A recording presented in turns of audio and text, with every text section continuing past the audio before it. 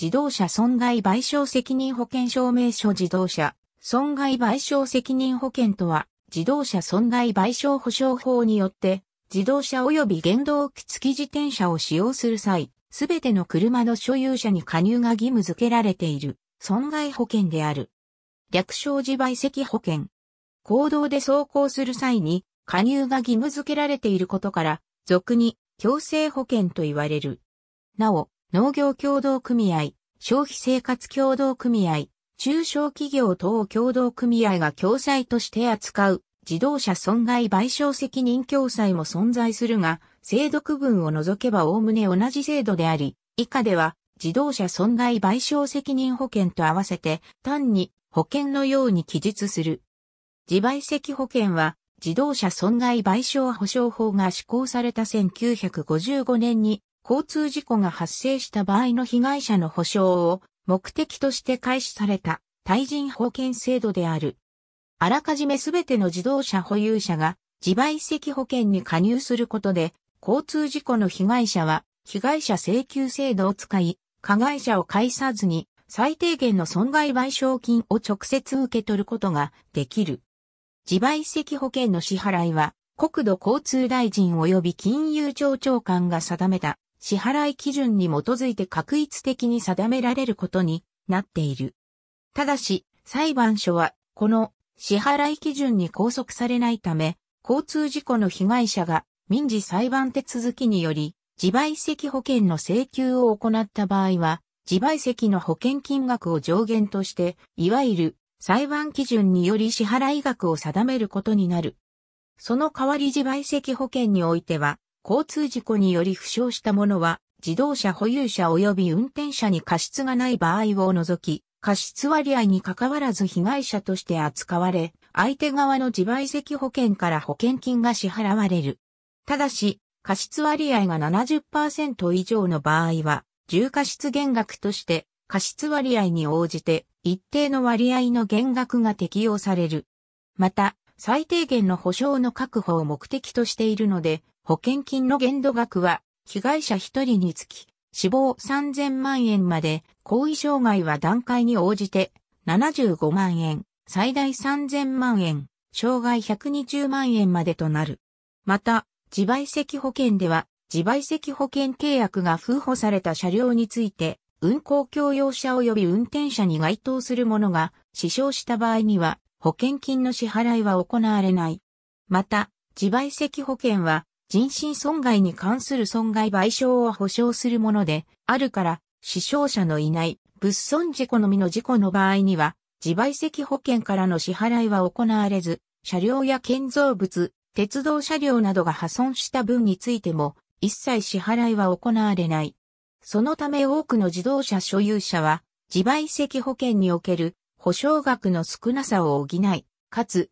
自損事故や物損事故にも対応できるよう、任意の任意保険にも別途加入することが一般的になっている。自動車検査登録制度のある自動車や 250cc を超えるオートバイの場合は、継続検査の際、新しく交付される車検証の有効期間を満たす自動車損害、賠償保険証明書を提示しなければ、自動車検査証の有効期間の更新はできない。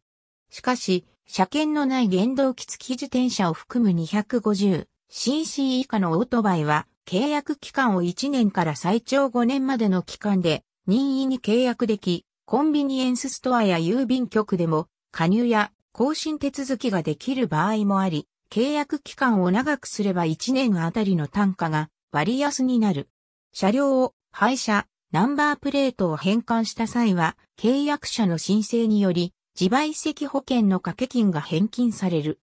なお、自動車損害賠償保障法第10条と同法施行令第1条の2の規定により、自衛隊、国連軍、在日米軍の車両には自賠責保険の付保は要しない。外交官については、自動車損害賠償保障法上の明文規定はないが、外交特権により適用がない。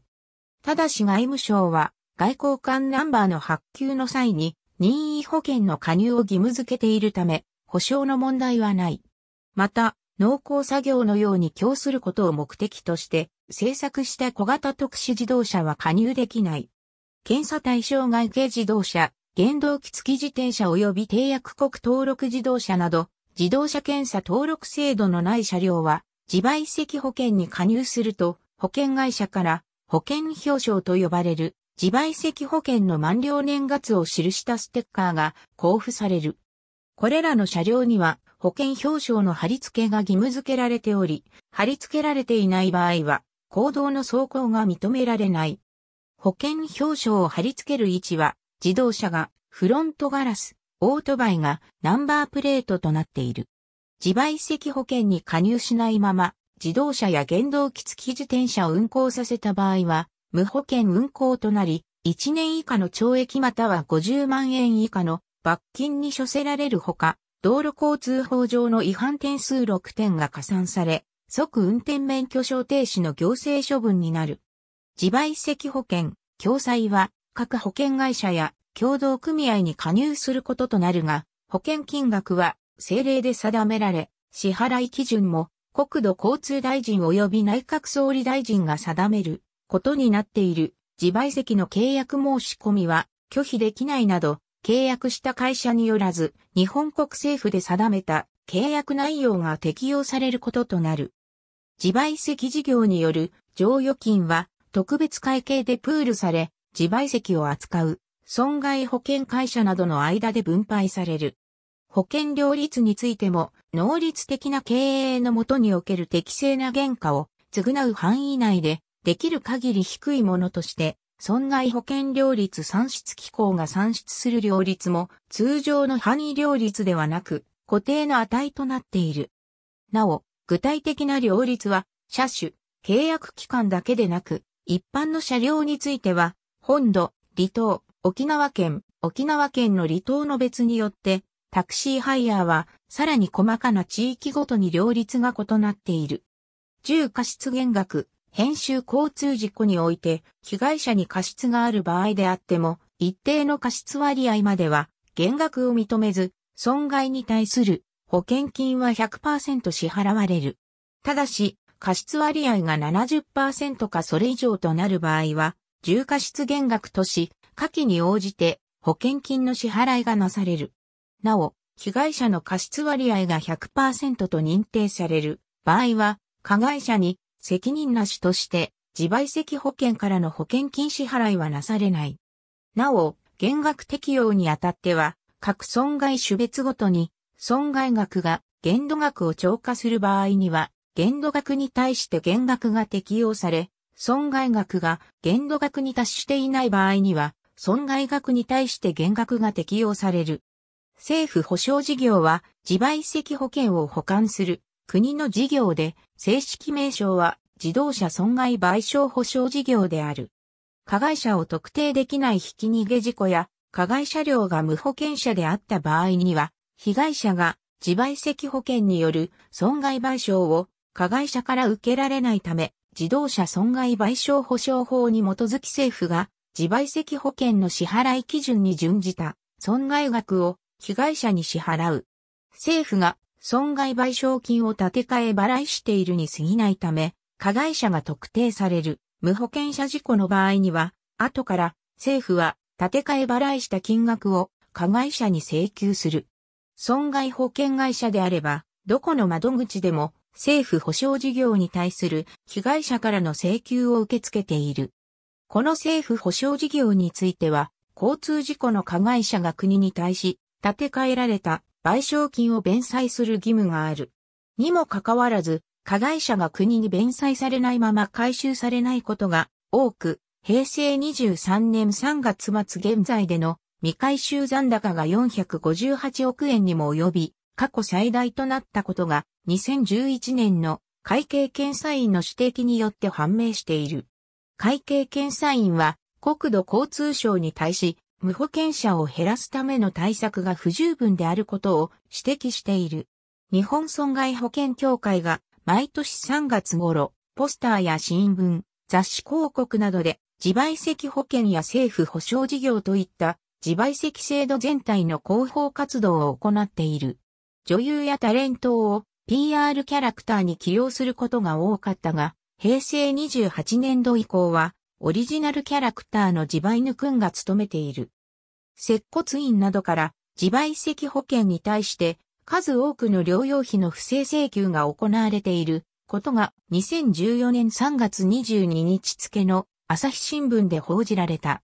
中には生後半年の赤ちゃんが腰痛になったなどの現実の社会通念に照らし合わせるとありえない請求も存在しているという。患者を抱き込んでの過剰請求が背景にあるとされる。接骨院からの請求数は5年間で急増しており、2014年の金融庁自動車損害賠償責任保険審議会においては、柔道整復手術所での手術について、医療機関での治療と比べ費用が高く長期化していることが明らかとなった。日本医師会は、交通事故被害者が柔道整復手術所へ通う場合、必